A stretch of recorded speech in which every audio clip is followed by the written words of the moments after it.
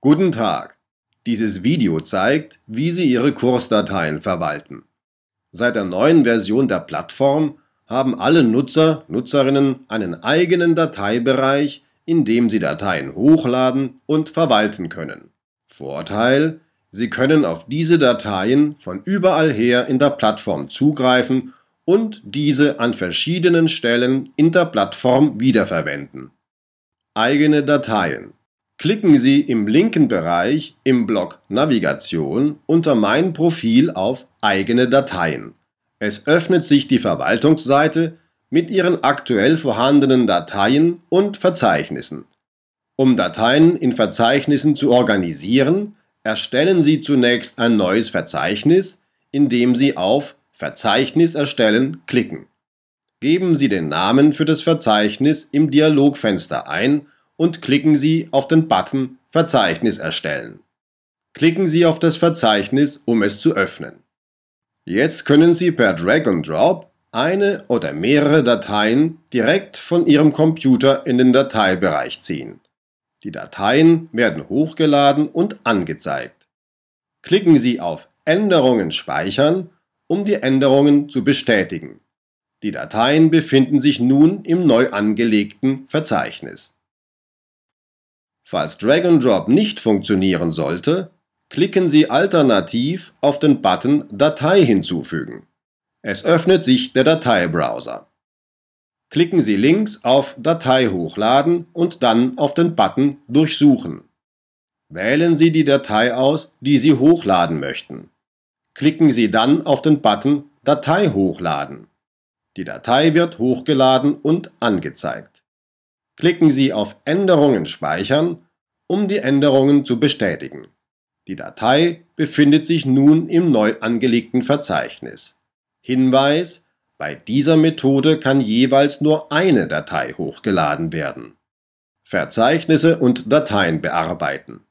Um ein Verzeichnis zu bearbeiten, klicken Sie auf das Icon rechts unten.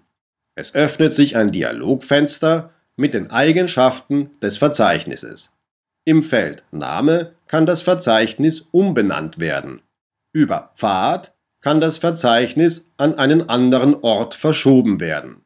Durch Klicken auf Aktualisieren werden die Änderungen übernommen.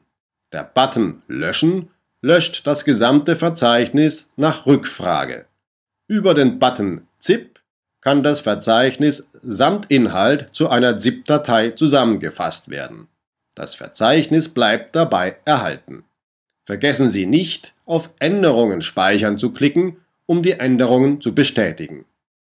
Bei Dateien gelangt man direkt durch Anklicken der Datei zu den Eigenschaften.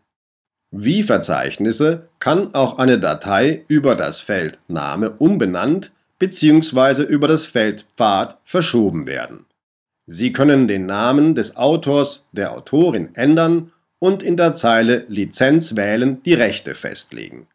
Auch hier gibt es den Button Löschen und durch Klicken auf den Button Herunterladen wird die Datei auf Ihren Computer heruntergeladen. Vergessen Sie nicht, auf Änderungen speichern zu klicken, um die Änderungen zu bestätigen. Durch Klicken auf die Icons rechts oben kann die Ansicht gewechselt werden zwischen Thumbnails, Listenansicht, oder Detailliste mit Größe, Datum und Typ. Hinweis: Sie können beliebig viele Verzeichnisse und Unterverzeichnisse sowie beliebig viele Dateien anlegen. Bei Bedarf können Sie den gesamten Inhalt des Dateibereichs eigene Dateien mit allen Unterverzeichnissen und Dateien in eine ZIP-Datei packen und diese auf Ihren lokalen Computer herunterladen. Klicken Sie dazu auf den Button alles herunterladen. Um bereits verwendete Dateien wiederzufinden, klicken Sie auf den Button Datei hinzufügen. Es öffnet sich der Dateibrowser. Klicken Sie links auf Letzte Dateien. Es werden die Dateien angezeigt, die Sie zuletzt hochgeladen haben. Auch im Dateibrowser können Sie die Ansicht wechseln zwischen Thumbnails, Listenansicht, oder Detailliste mit Größe, Datum und Typ. In der Detailliste sind die Dateien chronologisch sortiert, können aber auch nach Name, Größe oder Typ sortiert werden. Klicken Sie auf eine Datei, es öffnet sich ein Dialogfenster. Im Feld Speichern unter können Sie der Datei bei Bedarf einen neuen Namen geben. Durch Klicken auf Datei auswählen wird die Datei in Ihren eigenen Dateienbereich kopiert. Anschließend können Sie die Datei wie bereits beschrieben bearbeiten.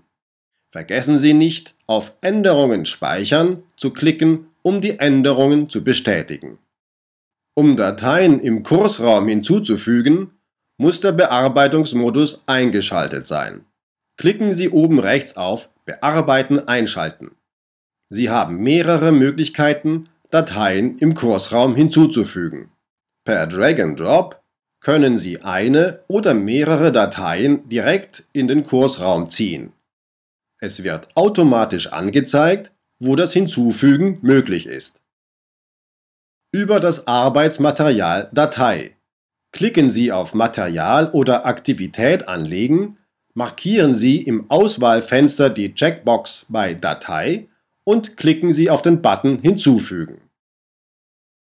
Tragen Sie unter Name die Bezeichnung des Arbeitsmaterials auf der Kursseite ein und geben Sie eine kurze Beschreibung an. Wie bei allen Feldern mit dem blauen Pfeil können Sie auch hier eine Datei per Drag and Drop hinzufügen. Um eine Datei aus dem eigenen Dateienbereich hinzuzufügen, klicken Sie auf den Button Datei hinzufügen es öffnet sich der Dateibrowser. Klicken Sie auf Eigene Dateien. Navigieren Sie zu der Datei, die Sie hinzufügen wollen und klicken Sie darauf. Die wichtigste Einstellung im sich öffnenden Dialogfenster ist die Auswahl, ob eine Kopie der Datei oder ob eine Verknüpfung zur Datei angelegt wird. Eine Verknüpfung hat vor allem dann Vorteile, wenn Sie eine Datei in mehreren Kursen zur Verfügung stellen wollen und diese später aktualisiert wird. In diesem Fall muss die Datei nur am ursprünglichen Ort erneuert werden. Da die Verknüpfung auf diese Datei zeigt, findet sich dann automatisch in allen Kursen die aktualisierte Datei. Klicken Sie anschließend auf Datei auswählen. Bei einer verknüpften Datei wird links unten ein kleiner blauer Pfeil angezeigt. Wird auf eine verknüpfte Datei geklickt, kann in den Einstellungen gesehen werden, mit welcher Originaldatei sie verknüpft ist. Analog dazu werden bei Originaldateien die Verknüpfungen mit einem Kettensymbol rechts unten angezeigt. Ein Tipp. Wählen Sie bei einer PDF-Datei unter Optionen Anzeigen Download erzwingen aus, damit die Datei auch wirklich heruntergeladen und nicht im Browser angezeigt wird. Klicken Sie abschließend auf Speichern und zum Kurs. Die Datei wird nun als Arbeitsmaterial angezeigt. Wenn Sie eine größere Anzahl von Dateien in Ihrem Kurs bereitstellen möchten, legen Sie dafür ein Verzeichnis an. Klicken Sie auf Material oder Aktivität anlegen markieren Sie im Auswahlfenster die Checkbox bei Verzeichnis und klicken Sie auf den Button Hinzufügen. Tragen Sie unter Name die Bezeichnung des Verzeichnisses auf der Kursseite ein und geben Sie eine kurze Beschreibung an. Strukturieren Sie alles übersichtlich in Unterverzeichnissen und laden Sie die Dateien per Drag and Drop in das jeweilige Verzeichnis.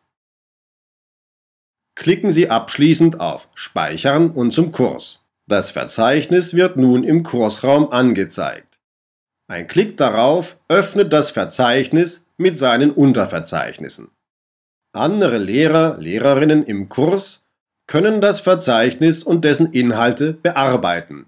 Teilnehmer, Teilnehmerinnen können die Dateien nur sehen und herunterladen. Ein ZIP-Archiv im Verzeichnis entpacken. Sie können auch mehrere Dateien als gepacktes ZIP-Archiv hochladen, per Drag and Drop oder mit dem Button Datei hinzufügen und im Verzeichnis entpacken. Auch eine Struktur mit Unterverzeichnissen bleibt beim Übertragen in ein Verzeichnis erhalten. Ein Tipp. Sie können ein ZIP-Archiv per Drag-and-Drop auch direkt in den Kursraum ziehen. Wählen Sie im Dialogfenster aus, dass die Dateien entpackt und Verzeichnisse angelegt werden sollen. Klicken Sie dann auf Hochladen. Es wird automatisch ein neues Verzeichnis mit der Struktur der Unterverzeichnisse angelegt. Viel Spaß beim Dateien verwalten!